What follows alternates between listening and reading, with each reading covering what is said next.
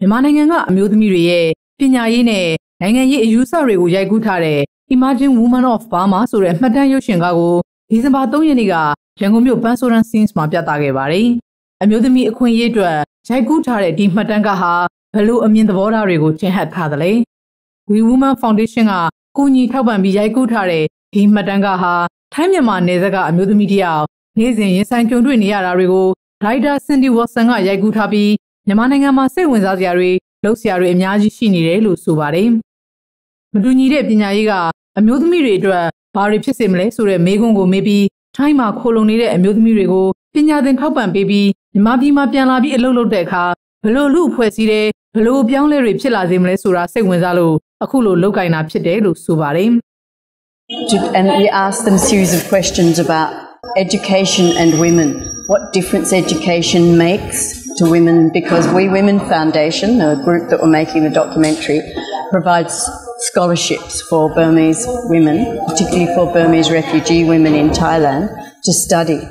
who then come back and work here. So we were keen to know how these women that are doing all this really interesting community work viewed education.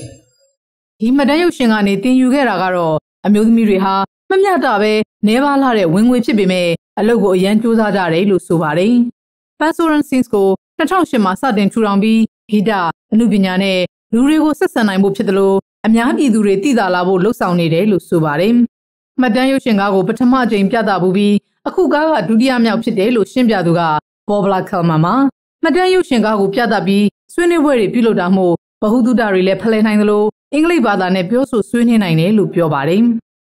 We are very happy if people participate, come here, say their um, their thoughts, their ideas, uh, maybe ask questions to those who are, who are involved in the film, uh, in, involved in the in the films.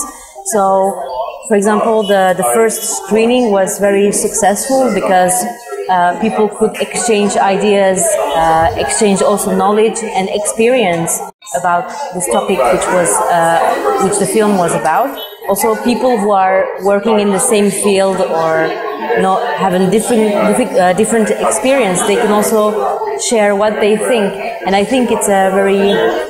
good opportunity to create a, a dialogue